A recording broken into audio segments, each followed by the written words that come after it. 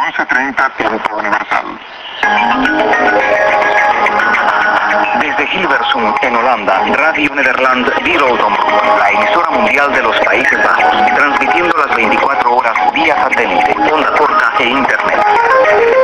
Esta es La Matinal, media hora con el acontecer en Europa y el mundo. Muy buenos días y bienvenidos a la matinal de este lunes 11 de mayo. Estos son los titulares. El Papa comenzó su visita a Israel y los territorios palestinos.